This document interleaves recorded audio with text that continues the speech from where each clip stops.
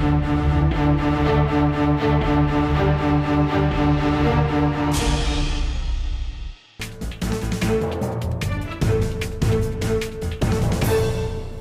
മൗനി ബാബയോ എന്നാണ് super prime time ആദ്യം ചർച്ച ചെയ്യുന്നത്. ശ്രീ ടി എൻ പ്രതാപൻ ഈ വിഷയത്തിൽ മുഖ്യമന്ത്രി കാര്യക്ഷമമായി ഇടപെടണം എന്നല്ല ഇന്നിപ്പോൾ പ്രതിപക്ഷം ആവശ്യപ്പെടുന്നത്. ഗവർണർ ഇടപെടണം എന്നാണ്. ഇതൊരു അസാധാരണമായ സാഹചര്യമാണ്. എന്തുകൊണ്ട് പ്രതിപക്ഷം ഗവർണറുടെ ഇടപെടൽ ആവശ്യപ്പെടുന്നു? വേണു കേരളത്തെ സംബന്ധിച്ചിടത്തോളം ഏറ്റവും ഗൗരവമുള്ള ഒരു സന്ദർഭമാണിത്. കാരണം നമ്മുടെ ജനാധിപത്യത്തിന്റെ ഫോർത്ത് സ്റ്റോൺ എന്ന് വിളിക്കുന്ന മാധ്യമങ്ങൾ ആ മാധ്യമങ്ങൾക്ക് നേരെ പ്രത്യേകിച്ചും ജനാധിപത്യത്തിന്റെ തന്നെ പ്രധാനപ്പെട്ട മറ്റൊരു സ്റ്റോണായ ജുഡീഷ്യറിയെ പിന്തുണയ്ക്കുന്ന അഭിഭാഷകരും തമ്മിൽ സംഘർഷമുണ്ടായിരിക്കുകയാണ്. ഇത് ജനാധിപത്യത്തിന് പ്രധാനപ്പെട്ട രണ്ട് ഘടകങ്ങൾ തമ്മിലുള്ള സംഘർഷമായി നാളെ മാറും മാറിക്കൊണ്ടിരിക്കുന്നു. കാരണം ഗവൺമെന്റിന്റെ പൊതുഖജനാവിലെ പണം ഉപയോഗിച്ച് നിർമ്മിക്കുന്ന കോടതികളിൽ നിർമ്മിച്ച കോടതികളിൽ കോടതി സുപ്രീം കോടതി പോലും മാധ്യമങ്ങൾക്ക് പ്രത്യേകമായും സൗകര്യങ്ങളെല്ലാം ഏർപ്പെടുത്തിയിട്ടുള്ള ഈ കാലത്ത് ഹൈക്കോടതിയും മറ്റ് കീഴ്ക്കോടതികളിലെല്ലാം സൗകര്യങ്ങൾ. ഇപ്പോൾ മാധ്യമങ്ങൾക്ക് മാധ്യമ പ്രവർത്തകന്മാർക്ക് കോടതിയിൽ പോലും കയറാൻ പറ്റാത്ത രീതിയിൽ കോടതിയിൽ നടക്കുന്ന റിപ്പോർട്ട് ചെയ്യാവുന്ന കാര്യങ്ങൾ റിപ്പോർട്ട് ചെയ്യാൻ പോലും അനുവദിക്കപ്പെടാത്ത പറ്റാത്ത രീതിയിൽ വലിയൊരു സംഘർഷം ഉണ്ടായിരിക്കുകയാണ്. അത് നാളെ ജുഡീഷ്യറിയും പിന്നെ മാധ്യമങ്ങളും തമ്മിലുള്ള സംഘർഷത്തിലേക്ക് വരും. അത് ജനാധിപത്യത്തിന്റെ കാതലായ അംശത്തെ ബാധിക്കുന്ന രീതിയിലായി മാറും. ആരെ അതിൽ പരിഹാരം കാണേണ്ട ആൾ അതിൽ അത് തീർക്കേണ്ട ആൾ അത് തീർക്കേണ്ടത് ഭരണകൂടമാണ്. ഭരണകൂടത്തിന്റെ ചുമതലക്കാരനായ മുഖ്യമന്ത്രിയാണ്. ആ മുഖ്യമന്ത്രി മൗനം പാലിക്കുകയാണ്. കോടതികളിൽ നിന്നും പത്രക്കാരെയും ഒക്കെ കയറ്റാത്ത സന്ദർഭം ഉണ്ടായിട്ട് പോലും അത് തീർക്കാൻ വേണ്ടി ഒരു ഒരു ഒരു പ്രഹസനമായ ചർച്ച നടത്തി എന്നല്ലാതെ ക്രിയാത്മകമായ രീതിയിൽ ഇടപെടുന്നില്ല. അഭിപ്രായം പറയുന്നില്ല. അഭിപ്രായം പറയാൻ മാറാണ് ബഹുമാനപ്പെട്ട മുഖ്യമന്ത്രി എന്താ മൗനി ബാവയോ? മൗനി വിജയൻ എന്ന് നമുക്ക് വിളിക്കാൻ വേണ്ടി പറ്റുമോ കേരളത്തിലെ മുഖ്യമന്ത്രിയെ? കേരളത്തിൽ ചരിത്രത്തിൽ ഉണ്ടായിട്ടുണ്ടോ? ഇ എം എസ് നമ്പൂതിരിപ്പാട് മുതൽ ഇങ്ങോട്ട് കണ്ട കേരളത്തിലെ മുഖ്യമന്ത്രിമാരെ നോക്കൂ. ഈ പ്രശ്നങ്ങൾ ഉണ്ടാകുമ്പോൾ പ്രശ്നങ്ങളിൽ ഇടപെടും അഭിപ്രായം പറയും അതിനെ ഒരേ മേശയ്ക്ക് കൊണ്ടുവരും ഗവൺമെന്റിന് തീരുമാനം പറയും അത് ആ തീരുമാനം നടപ്പിലാക്കാൻ വേണ്ടി ശ്രമിക്കും. ഈ കാര്യത്തിൽ കേരളത്തിലെ മുഖ്യമന്ത്രി ദയനീയമായി പരാജയപ്പെട്ടിരിക്കുന്നു. കേരളത്തിനകത്ത് വലിയ സംഘർഷം രൂപപ്പെടുകയാണ്. അതുകൊണ്ടാണ് ഞങ്ങൾ മൗനിയായ മുഖ്യമന്ത്രിക്ക് ഉത്തരം പറയുന്നില്ലെങ്കിൽ പിന്നെ സ്റ്റേറ്റിന് തലവനായ ഗവർണർ ഇടപെടണം. പ്രതിപക്ഷം അതുകൊണ്ടാണ് ഗവർണർ ഇടപെടണം എന്ന് പറഞ്ഞിരിക്കുന്നത്. ശ്രീ ടി ജി മോഹൻദാസ് ഹൈക്കോടതി പ്രവർത്തിക്കുന്നുണ്ട്. ഒരു ഭരണഘടനാ സ്ഥാപനമാണ്. ഗവർണറും ഒരു ഭരണഘടനാ പദവിയാണ്. മുഖ്യമന്ത്രി ഭരണഘടനയുടെ കാവലാളാണ്.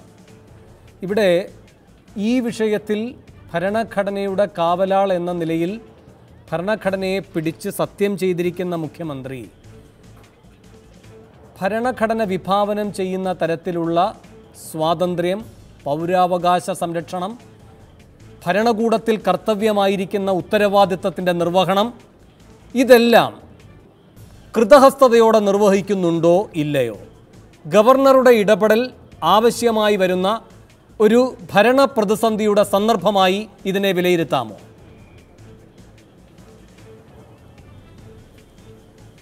ഇല്ല ഭരണപ്രതിസന്ധിയായിട്ടൊന്നും ഇതിനെ വിലയിരുത്തുന്നതിനോട് എനിക്ക് യോജിക്കാൻ സാധ്യമല്ല. ഇപ്പം സംഭവിച്ചത് എന്താ? ഈ സംഘർഷത്തെ തുടർന്ന് കുറച്ച് നിയന്ത്രണങ്ങൾ കേരള ഹൈക്കോടതി ഏർപ്പാടാക്കി. അത് അതിന്റെ സ്വഭാവം കണ്ടിട്ട് ഞാൻ വിശ്വസിക്കുന്നത് കുറച്ച് ദിവസത്തേക്കാണ്. ടെൻഷൻസ് ഒന്ന് കുറയട്ടെ.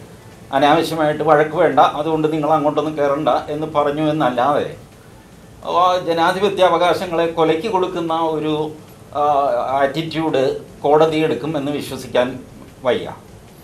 പക്ഷേ മുഖ്യമന്ത്രിക്ക് ഇതിലൊരു ചുമതലയുണ്ട്. ഈ ഈ പാഷൻസ് രണ്ട് ഭാഗത്തുമുള്ള പാഷൻസ് ഒന്ന് കുറയ്ക്കുക അവരുമായിട്ട് സംസാരിക്കുക നിരന്തരം സംസാരിച്ചുകൊണ്ടിരിക്കുക. അത് മുഖ്യമന്ത്രിയുടെ ഒരു ചുമതലയാണ്. കാരണം അദ്ദേഹമാണല്ലോ സ്റ്റേറ്റിന്റെ അധിപൻ. ആ നിലയ്ക്ക് ഈ ടെൻഷൻസ് കുറച്ചു കൊണ്ടുവരിക അതേസമയം കോടതിയിൽ എ ജി ഉണ്ട്. എ ജിക്ക് വേണമെങ്കിൽ ഒരു സ്പെഷ്യൽ ആപ്ലിക്കേഷൻ മൂവ് ചെയ്യാം. Shri T G Mohandas. Shri T G Mohandas എന്റെ ചോദ്യം. ശ്രീ ടി ജി മോഹൻദാസ് എന്റെ ചോദ്യം. ഇപ്പോൾ ഒരു ഉത്തരവ് വന്നിരിക്കുന്നു. കുറച്ച് നിയന്ത്രണങ്ങൾ. അത് കുറച്ച് ദിവസം കഴിയുമ്പോൾ അങ്ങ് മാറിക്കോളും. ഇത്തരം സാവകാശത്തോടെ ഇതിന് ഒരു ഒരു ശുശ്രൂഷ അതിലൂടെ ഇത് പരിഹരിക്കപ്പെടും. അത്തരം ഒരു ചർച്ചയല്ല ഉദ്ദേശിക്കുന്നത്. അതുകൊണ്ടാണ് അങ്ങ് ശ്രദ്ധിച്ചിട്ടുണ്ടാകും ഈ ചർച്ചയിൽ അഭിഭാഷക സമൂഹത്തിൽ നിന്നുള്ള പ്രതിനിധികളില്ല മാധ്യമ സമൂഹത്തിൽ നിന്നുള്ള പ്രതിനിധികളുമില്ല. വിഷയം രാഷ്ട്രീയമാണ് ശ്രീ ടി ജി മോഹൻദാസ്. രാഷ്ട്രീയ ഭരണപരമായ കർത്തവ്യ നിർവഹണത്തിലെ വീഴ്ചയാണ് അതിലൊരു ഒറ്റ ഉത്തരവാദിയേ ഉള്ളൂ. സാക്ഷാൽ മുഖ്യമന്ത്രി. അദ്ദേഹത്തിൽ നിക്ഷിപ്തമായിരിക്കുന്ന ചുമതലകൾ അദ്ദേഹം നിർവഹിക്കുന്നുണ്ടോ ഇല്ലയോ എന്നതാണ് ഇപ്പോഴത്തെ ഈ പ്രതിസന്ധിയുടെ മൂലാധാരം. യോജിക്കുന്നുണ്ടോ ഇല്ലയോ? അല്ല സ്ട്രെയിറ്റ് വേ അതിനൊരു യെസ് ഓർണോ നോ ഉത്തരം പറയാൻ ബുദ്ധിമുട്ടാണ്.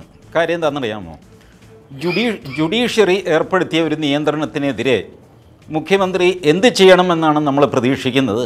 അത് സ്പെസിഫിക് ആയിട്ട് പറഞ്ഞ് അത് അദ്ദേഹം ചെയ്യുന്നില്ലെങ്കിൽ വേണു പറഞ്ഞ ഈ ആരോപണത്തിന് ന്യായം ഈ മുഖ്യമന്ത്രി ഒരു ഒത്തുതീർപ്പ് ചർച്ച നടത്തിയില്ലേ? മുഖ്യമന്ത്രി മൗനം ഈ മുഖ്യമന്ത്രി മൗനം അങ്ങനെ ഒരു ഒത്തുതീർപ്പ് ചർച്ച നടത്തുന്നത് അദ്ദേഹവും ആക്ടിംഗ്. ചീഫ് ജസ്റ്റിസുമായുള്ള ആശയ സംവാദ ആശയ വിനിമയത്തിന്റെ അടിസ്ഥാനത്തിലാണല്ലോ.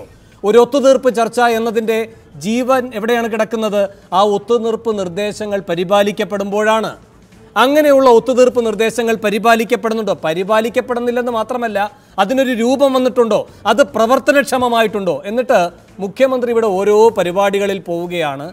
ഇവിടെ പ്രവർത്തന സ്വാതന്ത്ര്യം നിഷേധിക്കപ്പെട്ട അതുവഴി പൊതുസമൂഹത്തിന്റെ അറിയാനുള്ള അവകാശത്തിന് മേൽ വലിയൊരു മതിലുണ്ടായിരിക്കുന്നു എന്ന് നിരന്തരം മുഖ്യമന്ത്രിയുടെ ശ്രദ്ധയിൽപ്പെടുത്തുന്ന മാധ്യമങ്ങളെ വകഞ്ഞു മാറ്റി അദ്ദേഹം പോവുകയാണ്. ഇതിന് സ്ട്രെയിറ്റ് അവേ ആയ ഒരു ഉത്തരത്തിന് തടസ്സമില്ല ശ്രീ ടി ജി മോഹൻദാസ്. ഞാൻ ഞാനത് സ്ട്രെയിറ്റ് ഉത്തരം പറ്റില്ല എന്ന് പറയാൻ കാര്യം എന്താണെന്നറിയാമോ? What is that we want from the chief minister എന്താ നമ്മൾ ആഗ്രഹിക്കുന്നത്? അദ്ദേഹം അന്നുണ്ടാക്കിയ ഒരു ഒരു സമിതിയുണ്ട്. ആ സമിതി പ്രവർത്തനക്ഷമമാണ് എന്നാണ് ഞാൻ കരുതുന്നത്. അതിൽ വക്കീലന്മാർക്കോ മറ്റാർക്കെങ്കിലും പരാതി ഉണ്ടെങ്കിൽ ആ സമിതിയിൽ ഉന്നയിക്കാം. മുഖ്യമന്ത്രിക്ക് അതിന്റെ ഒരു തീരുമാനം ബുൾഡോസ് ചെയ്യാൻ പറ്റുമെന്ന് എനിക്ക് തോന്നുന്നില്ല. മുഖ്യമന്ത്രിയുടെ സുതാര്യതയുടെ ഒരു കുറവ് ഇക്കാര്യത്തിൽ ഞാൻ കാണുന്നുണ്ട് തീർച്ചയായിട്ടും. അങ്ങനെ ഒരു സമിതി ജി ഭരണഘടനാപരമായ ദൗത്യം നിർവഹിച്ചില്ല. അങ്ങനെ ഒരു സമിതി പ്രവർത്തിക്കുന്നുണ്ടോ ശ്രീ ടി ജി മോഹൻദാസ്? ഇല്ല. എനിക്കറിയില്ല വേണോ. അങ്ങനെ ഒരു സമിതി പ്രവർത്തിക്കുന്നില്ല. അതോടെ തന്നെ പാളി. അറിയില്ല അതോടെ തന്നെ ഞാൻ നടപടിയാണ്. ഒരു നിമിഷം. ശ്രീ എൻ എം പിയേഴ്സൺ ഒരു സംവിധാനത്തെ പറ്റിയാണ് മുഖ്യമന്ത്രി പരിഹാരം എന്ന നിലയിൽ ഒരു കണ്ടെത്തൽ എന്ന മാതിരി അവതരിപ്പിച്ചത്. അതിലപ്പോൾ തന്നെ മാധ്യമപ്രവർത്തകർ സംശയം ഉന്നയിച്ചു? ആ ഘട്ടത്തിൽ മുഖ്യമന്ത്രി പറഞ്ഞത് എന്താണെന്ന് അങ്ങേക്കും അറിയാം. തല്ലു കൊള്ളാനും തല്ലുണ്ടാക്കാനും പോകരുത്. ഇതാണോ ഒരു മുഖ്യമന്ത്രി പറയേണ്ടത്? പ്രത്യേകിച്ചും ഒരു ഒത്തുതീർപ്പ് സംവിധാനം ഉണ്ടാക്കിയിരിക്കുന്നു എന്ന് ഗരിമയോടെ ഉദ്ഘോഷിച്ചുകൊണ്ടിരിക്കുന്ന ഒരു മാധ്യമ സമ്മേളനത്തിൽ എന്ന് മാത്രമല്ല ഇത് നടക്കുമോ എന്ന് ആവർത്തിച്ച് മാധ്യമപ്രവർത്തകർ ചോദിക്കുമ്പോൾ പരുഷമായ മറുപടി. ഈ രൂപത്തിലല്ലാതെയുള്ള വാക്കുകൾ ഉപയോഗിച്ച് സംസാരിക്കാൻ എനിക്കറിയാം. പക്ഷെ ഞാനിപ്പോൾ അത് ചെയ്യുന്നില്ല. അതിന്റെ കാരണമായി അദ്ദേഹം ചൂണ്ടിക്കാട്ടുന്നത് നല്ല കാര്യം. നാം ഒരു ഒത്തുതീർപ്പ് എന്ന വികാരത്തിന്റെ അടിസ്ഥാനത്തിലാണ് ഇപ്പോൾ നിൽക്കുന്നത്.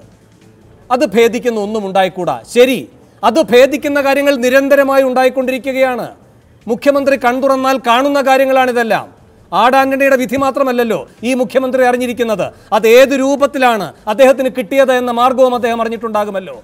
അവിടെ എന്തുകൊണ്ടാണ് പിണറായി വിജയൻ മുഖം തിരിഞ്ഞു നിൽക്കുന്ന ഒരു സമീപനം സ്വീകരിക്കുന്നത്? ശ്രീ പിയേഴ്സൺ അല്ല അത് പൊതുവെ നമ്മളുടെ സമൂഹത്തിൽ പലരും സംസാരിക്കുന്ന ഒരു കാര്യം. നമ്മളുടെ മുഖ്യമന്ത്രിക്ക് മാധ്യമപ്രവർത്തകരോട് അത്രമാത്രം വലിയ താല്പര്യമോ സ്വീകാര്യതയോ ഇല്ല എന്നുള്ളത് പൊതുവെ ചർച്ച ചെയ്യപ്പെടുന്ന ഒരു കാര്യമാണ്. അങ്ങനെയുള്ള മാധ്യമപ്രവർത്തകർക്ക് വക്കീൽ സമൂഹത്തിൽ നിന്ന് അല്പം പരുക്കേൽക്കുകയാണെങ്കിൽ നല്ലത് എന്ന് പറയുന്ന ഒരു മനസ്ഥിതി അദ്ദേഹം വെച്ചു പുലർത്തുന്നുണ്ട് എന്ന് അഭിപ്രായം പലരും പങ്കുവെക്കുന്നുണ്ടെന്നാണ് ഞാൻ മനസ്സിലാക്കുന്നത്. അത്തരത്തിലൊക്കെ ഈ കാര്യങ്ങൾ പോകുന്നത് തികച്ചും ശരിയല്ലെന്ന് വിശ്വസിക്കുന്ന ഒരാളാണ് ഞാൻ. കാരണം ഇതൊരു നേരത്തെ വേണു സൂചിപ്പിച്ചതുപോലെ ഇത് വക്കീലുമാരും അതേപോലെ മാധ്യമപ്രവർത്തകരും തമ്മിലുള്ള വ്യക്തിപരമായിട്ടുള്ള അവരുടെ ഈഗോ ക്ലാഷ് ആയിട്ട് നമ്മളിതിനെ കണക്കാക്കാൻ പാടില്ല. രണ്ടാമത്തെ പ്രശ്നം ഇത് ഒരു തൊഴിൽ തർക്കമായിട്ട് തൊഴിലെടുക്കാനുള്ള സ്വാതന്ത്ര്യത്തിന്റെ പ്രശ്നമായിട്ടും കണക്കാക്കാൻ പാടില്ല. പകരം ഇതൊരു ജനാധിപത്യ സമൂഹത്തെ സംബന്ധിച്ചിടത്തോളം ഏറ്റവും വലിയ ജനാധിപത്യ എന്താണ് അതിന്റെ നിർദ്ധാരണത്തിന്റെ വഴികൾ തുറക്കുന്ന ഒരു പ്രക്രിയയായിട്ട് കണക്കാക്കേണ്ടതാണ്. കാരണം ഒരു സമൂഹത്തെ സംബന്ധിച്ചിടത്തോളം ആ സമൂഹത്തിന്റെ പൊതു അഭിപ്രായ രൂപീകരണം ഒരു പബ്ലിക് ഒപ്പീനിയൻ അല്ലെങ്കിൽ പബ്ലിക് സ്പിയർ എങ്ങനെയാണ് ക്രിയേറ്റ് ചെയ്യേണ്ടത് എന്നത് ഏറ്റവും തുറന്ന സ്വാതന്ത്ര്യമുള്ള ഒരു മാധ്യമത്തിന്റെ സാന്നിധ്യത്തിലൂടെ മാത്രം നിർവഹിക്കപ്പെടുന്ന പ്രക്രിയയാണ് എന്ന് തിരിച്ചറിയേണ്ടത് ആ രാജ്യത്തെ മുഖ്യമന്ത്രിയും അതേപോലെ തന്നെ ജനാധിപത്യത്തിന്റെ കാവലാളെന്ന് വിശേഷിപ്പിക്കപ്പെടുന്നതായിട്ടുള്ള പ്രസ്ഥാനത്തിന്റെ നേതാവും തന്നെയാണ്. ഈ രാജ്യത്ത് ജനാധിപത്യം പുലരേണ്ടതുണ്ട് എന്നും ആ ജനാധിപത്യ പ്രക്രിയയിലൂടെ നമ്മുടെ സമൂഹത്തിന് തുറന്ന തരത്തിലേക്കുള്ളതായിട്ടുള്ള വികസനം ആവശ്യമാണ് എന്ന് കരുതുകയും ചെയ്യുന്ന ജനാധിപത്യ മനസ്സ് ഉണ്ടെങ്കിൽ മാത്രമാണ് ആ കാര്യത്തിൽ ആത്മാർത്ഥമായിട്ട് ഇടപെടാനും ആ ഇടപെടലിലൂടെ പരിഹാരം കാണാനുമായിട്ടുള്ള നിർബന്ധ ബുദ്ധി അദ്ദേഹത്തിന് ഉണ്ടാകുകയുള്ളൂ. എല്ലാ കാര്യങ്ങളിലും വളരെ ശക്തമായിട്ടുള്ള നിർബന്ധ ബുദ്ധിയുള്ള ഒരു നേതാവാണ് സഖാവ് പിണറായി വിജയൻ എന്ന് കേരളത്തിന് അറിയാവുന്നതാണ്. അദ്ദേഹത്തിന് അത്തരത്തിൽ ഈ പ്രശ്നങ്ങൾ ഒരു കാരണവശാലും മുന്നോട്ട് പോകാൻ പാടില്ല എന്ന് അദ്ദേഹം തീരുമാനിച്ചു കഴിഞ്ഞാൽ ആ രീതിയിൽ അദ്ദേഹത്തിന്റെ ശൈലിക്ക് അനുസൃതമായിട്ടുള്ള രീതിയിലുള്ള ഇടപെടലുകൾ ഉണ്ടായാൽ എനിക്ക് തോന്നുന്നില്ല ഈ രീതിയിലായിരിക്കും ഈ കാര്യങ്ങൾ മുന്നോട്ട് പോവുക എന്നുള്ളത്. ഇങ്ങനെ പോകാൻ പാടില്ല എന്ന് നിശ്ചയിക്കേണ്ടത് വ്യക്തിപരമായിട്ടുള്ള ഒരു പ്രശ്നമായിട്ടല്ല എടുക്കേണ്ടത്? പകരം നമ്മുടെ രാജ്യത്തിന്റെ ജനാധിപത്യ വികസന പ്രക്രിയയുടെയും അതേപോലെ തന്നെ പൊതുസമൂഹത്തിന്റെ അഭിപ്രായ രൂപീകരണ പ്രക്രിയയുടെയും പ്രശ്നമായിട്ട് പരിഗണിക്കപ്പെടുന്ന സമയത്താണ്. അതായത് മാധ്യമ പ്രവർത്തനം എന്ന് പറയുന്നത് വെറും തൊഴിൽ മാത്രമല്ല അറിവ് പകരൽ മാത്രമല്ല സമൂഹത്തെ നിരന്തരമായിട്ട് ആ സമൂഹത്തിന്റെ ജൈവ പ്രക്രിയയെക്കുറിച്ചുള്ള ബോധമുണ്ടാക്കുന്ന ഒരു പ്രസ്ഥാനവും ഒരു പ്രക്രിയയുമാണ് എന്ന തിരിച്ചറിവ് വളരെ ആവശ്യമാണ് എന്നാണ് എനിക്ക് തോന്നുന്നത്. മുഹമ്മദ് റിയാസും ഒരല്പം വൈകിയാണെങ്കിലും ഈ ചർച്ചയിൽ എത്തിച്ചേർന്നിട്ടുണ്ട്.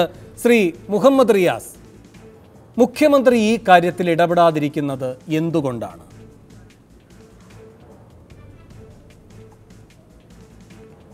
മുഖ്യമന്ത്രി ഇക്കാര്യത്തിൽ ഇടപെടാതിരിക്കുന്നത് എന്തുകൊണ്ടാണ് എന്ന ചോദ്യത്തിന് ഉത്തരം പറയാം. മുഖ്യമന്ത്രി ഇക്കാര്യത്തിൽ നന്നായി ഇടപെട്ടിട്ടുണ്ട് എന്നുള്ളതാണ് അതിന്റെ ഉത്തരം. മുഖ്യമന്ത്രി കൊച്ചിയിൽ തന്നെ വന്നു ഈ വിഷയത്തിനകത്ത് ഇടപെടുകയും അതിനൊരു ടീമിനെ നിശ്ചയിക്കുകയും ചെയ്തു ഒരു കമ്മിറ്റി. ആ കമ്മിറ്റിയിൽ എല്ലാ വിഭാഗത്തിലുമുള്ള ആളുകൾ അടങ്ങിയിട്ടുണ്ട്. ആ കമ്മിറ്റി ഈ പ്രശ്നം പരിഹരിക്കാൻ നിൽക്കെ വീണ്ടും മുഖ്യമന്ത്രി ഇടപെടേണ്ട സാഹചര്യം എന്ത് എന്നുള്ളതാണ് തിരിച്ച് എനിക്ക് ചോദിക്കാനുള്ളത്. ആ. കമ്മിറ്റിയും ഇല്ല. ആ കമ്മിറ്റിയിൽ ഈ കാര്യങ്ങളൊന്നും ആരും ഉന്നയിച്ചിട്ടുമില്ല. ഒന്നും ഉണ്ടായിട്ടില്ല. അതെ അപ്പോൾ ഞാൻ പറയട്ടെ കമ്മിറ്റി ഇപ്പോൾ ഫോം ചെയ്ത് വന്നിട്ടല്ലേ ഉള്ളൂ. തിരിച്ച് ചോദി ഇന്നും ഈ സാഹചര്യം തുടരുന്നു. അപ്പോൾ ആ സാഹചര്യം തുടരുന്ന സമയത്ത് കേരളത്തിന്റെ മുഖ്യമന്ത്രി എന്തുകൊണ്ട് ഇന്ന് മാധ്യമപ്രവർത്തകർ ചോദിച്ച ചോദ്യത്തിന് ഇങ്ങനെ പിന്നീട് പറയാമെന്നുള്ള ഉത്തരം പറഞ്ഞു? എന്നാണ് ഇതിൽ നിങ്ങൾ അടിവരയിട്ടുകൊണ്ട് മുഖ്യമന്ത്രിയെ മൗനി ബാബയോ എന്ന് വിശേഷിപ്പിക്കാൻ ഇവിടെ ശ്രമിച്ചിട്ടുള്ളത്. അത് അത്ഭുതം തോന്നുന്ന ഒരു കാര്യമാണ്. ഇതിൽ വളരെ കൃത്യമായിട്ട് ഞങ്ങളുടെ പോയിന്റ് ഇവിടെ പറഞ്ഞു കഴിഞ്ഞിട്ടുണ്ട്.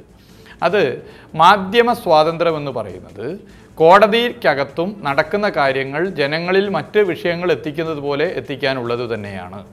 കോടതിയിൽ നടക്കുന്ന സംഭവങ്ങൾ ജനങ്ങളിൽ എത്തിക്കുക എന്നുള്ള ഉത്തരവാദിത്തം തൊഴിൽ ഉത്തരവാദിത്തം കൂടി തൊഴിൽ അവകാശം കൂടി നിർവഹിക്കാൻ മാധ്യമങ്ങൾക്ക് പൂർണമായ മാധ്യമപ്രവർത്തകർക്ക് അവകാശമുണ്ട്. അതോടൊപ്പം പറയേണ്ട ഒരു കാര്യം റെക്ടിഫിക്കേഷൻ ഫോഴ്സ് ആണല്ലോ മാധ്യമ പ്രവർത്തകർ ശ്രീ വേണു ഉൾപ്പെടെയുള്ള മാധ്യമ പ്രവർത്തകരും അഭിഭാഷകരും. റെക്ടിഫിക്കേഷൻ ഫോഴ്സ് തന്നെയാണല്ലോ. രാഷ്ട്രീയ നേതാക്കന്മാരെ എത്രയെത്ര ആളുകളെ തിരുത്താൻ വേണ്ടി ഏതൊക്കെ രീതിയിലുള്ള വിമർശനം നടത്തി. ഏറ്റവും അധികം ഇത്തരം റെക്ടിഫിക്കേഷൻ അറ്റാക്ക് നേരിട്ടൊരു വ്യക്തി കൂടിയാണല്ലോ കേരളത്തിന്റെ മുഖ്യമന്ത്രി. എന്നാൽ കേരളത്തിന്റെ മുഖ്യമന്ത്രിയോ സി പി ഐ എമ്മിന്റെ നേതാക്കന്മാരോ ഇനി ബി ജെ പിയുടെ നേതാക്കന്മാരോ കോൺഗ്രസിന്റെ നേതാക്കന്മാരോ മുസ്ലിം ലീഗിന്റെ നേതാക്കന്മാരോ ഒക്കെ ആയിട്ടുള്ള രാഷ്ട്രീയ നേതാക്കന്മാർ അവർക്ക് നേരെ വന്നിട്ടുള്ള തിരുത്തൽ ശക്തികളുടെ അറ്റാക്കിന് നേരിട്ട സഹിഷ്ണുതയുണ്ടല്ലോ. ആ സഹിഷ്ണുത ടോളറൻസ് ദൗർഭാഗ്യവശാൽ മാധ്യമ സമൂഹത്തിലെ ചിലരും അഭിഭാഷക സമൂഹത്തിലെ ചിലരും അതേ ടോളറൻസ് കൊണ്ട് ഈ വിഷയത്തെ കൈകാര്യം ചെയ്തിട്ടില്ല. ഈഗോ വളർന്നു വന്നു. ഇതൊന്നുമല്ല ഇന്നത്തെ അങ്ങനോട് ക്ഷമിക്കണം. അതുകൊണ്ടാണ് ഇവിടെ അഭിഭാഷകരും മാധ്യമപ്രവർത്തകരും അങ്ങോട്ടും ഇങ്ങോട്ടും തല്ലിക്കൊണ്ടിരിക്കുന്ന ഒരു വിഷയമായി ഇന്ന് ഇതെടുക്കാത്തത് ഇന്ന് വിഷയം രാഷ്ട്രീയ ഭരണ നേതൃത്വത്തിന്റെ ഇച്ഛാശക്തി ഇല്ലായ്മയാണ്. ഇടപെടാതിരിക്കാനുള്ള വിമുഖതയാണ്. അതിന്റെ പിന്നിലെ രഹസ്യങ്ങൾ എന്താണെന്നുള്ള അന്വേഷണമാണ്. ശ്രീ മുഹമ്മദ് റിയാസ് മനസ്സിലാക്കേണ്ട ഒരു കാര്യം ഒരു സംവിധാനം വന്നിരിക്കുന്നു. അതിനിപ്പോൾ പ്രവർത്തിച്ചു വരേണ്ടതുണ്ട്. അതിനിടയിൽ ചില ego clash. Shri T G Mohandas പറയുന്നു സാവകാശം വേണമല്ലോ. ചില ഉത്തരവുകൾ പുറപ്പെടുവിച്ചിരിക്കുന്നു ചില നിയന്ത്രണങ്ങൾ വന്നിരിക്കുന്നു. ഞാനൊരു കാര്യം എല്ലാവരുടെയും ശ്രദ്ധയിൽപ്പെടുത്താം. എറണാകുളം ജില്ലയിലെ ഒരു ആദിവാസി ഗ്രാമത്തിലേക്ക് നാം ഈ ചർച്ച ചെയ്തുകൊണ്ടിരിക്കുന്ന ഈ വിഷയം ചർച്ച ചെയ്തുകൊണ്ടിരിക്കുന്ന ദിവസം സന്നദ്ധ സംഘടനകൾ ഒരു വാഹനത്തിൽ ഭക്ഷണ പദാർത്ഥങ്ങൾ എത്തിക്കാൻ മുൻകൈയെടുത്തു. ആ വാഹനം ആ ഭാഗത്തേക്ക് കടത്തിവിട്ടില്ല വനം വകുപ്പ് ഉദ്യോഗസ്ഥർ. അതിന്റെ തടസ്സമായി പറഞ്ഞത് അതിന് ഇങ്ങനെ സന്നദ്ധ സംഘടനകൾക്ക് ഇങ്ങനെ വന്ന് ഈ ആഹാര സാധനങ്ങൾ വിതരണം ചെയ്യാനുള്ള അനുമതിയില്ല എന്നാണ്. ഇത് കോടതിയുടെ ശ്രദ്ധയിൽ ബന്ധപ്പെട്ടവർ പെടുത്തി കോടതി ആ പരാതി ഒരു റിട്ടായി എടുത്തുകൊണ്ട് ഉത്തരവും ഇട്ടു എന്താണ് ആ ഉത്തരവ്? അതിവേഗം ദാ ഇവർക്ക് ഈ ഭക്ഷണ സാധനങ്ങൾ ഈ പറയുന്ന ആദിവാസി മേഖലയിൽ എത്തിക്കാൻ അനുമതി നൽകിയിരിക്കുന്നു. ആരെങ്കിലും അറിഞ്ഞോ റിയാസ്? ആരെങ്കിലും അറിഞ്ഞോ ശ്രീ ടി ജി മോഹൻദാസ്? മാധ്യമങ്ങൾക്കറിയില്ല. ഈ